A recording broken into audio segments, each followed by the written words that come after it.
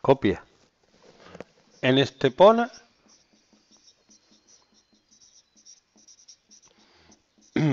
la mitad de la gente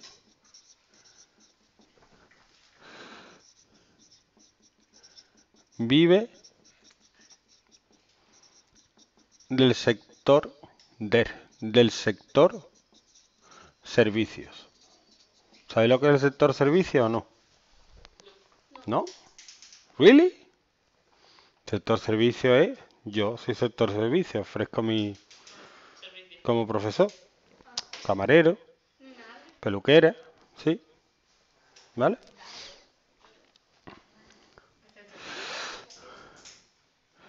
Dos quintos de la industria. Y el resto de la agricultura. Mentira, pero bueno, lo estoy inventando. ¿Qué fracción vive de la agricultura? No directamente. Ellos, los que venden fruta no beben directamente de la agricultura, no sé que ellos planten las cosas y las cosechen. Y las lleven a vender. Venga, ¿qué hago?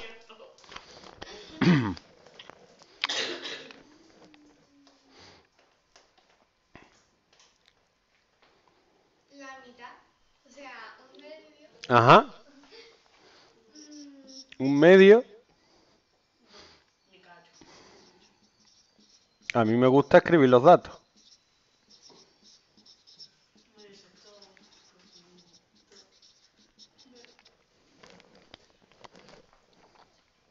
¿Qué hago? Para saber qué fracción vive de la agricultura. Eh, sumarlo, ¿Sumar qué?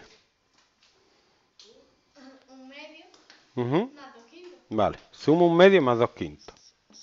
No creo que tú tengas mucho problema ya para sumar. ¿No? Mínimo múltiplo es 10. 10 entre 2, 5 por 1, 5. 10 entre 5, 2 por 2, 4. 9 décimos.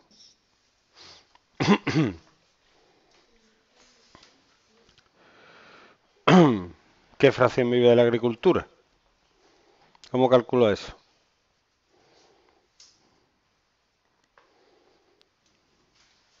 Vamos a ver. Tú divides la población de Estepona en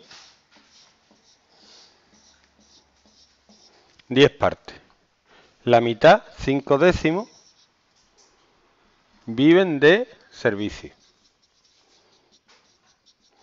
Y 4 décimos viven de la agricultura. Digo, de la industria. ¿Qué fracción te queda que vive de la agricultura? ¿Cuánto te queda? ¿Uno? No, uno no. ¿Qué fracción? Uno partido diez. Ya está. ¿Y cómo, de dónde he sacado este 1 partido 10? ¿Cómo lo saco?